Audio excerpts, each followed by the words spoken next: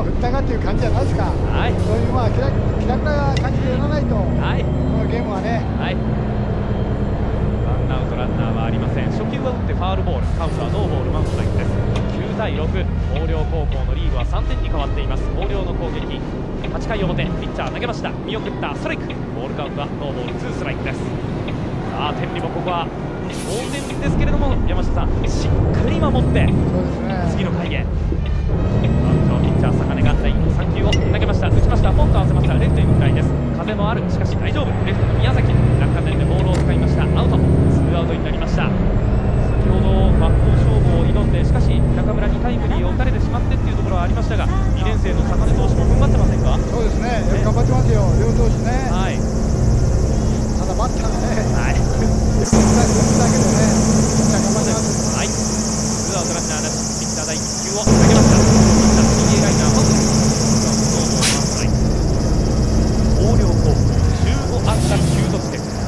のうち6打点を中村翔成が挙げています。天理高校13安打6得点。ピッチャー第2球を投げました。打ちました。右へのフライです。まっている。ライトが前進前進前進前進前進する。帽子を飛ばすの。ランニングキャッチ。ライトの陣のファインプレー。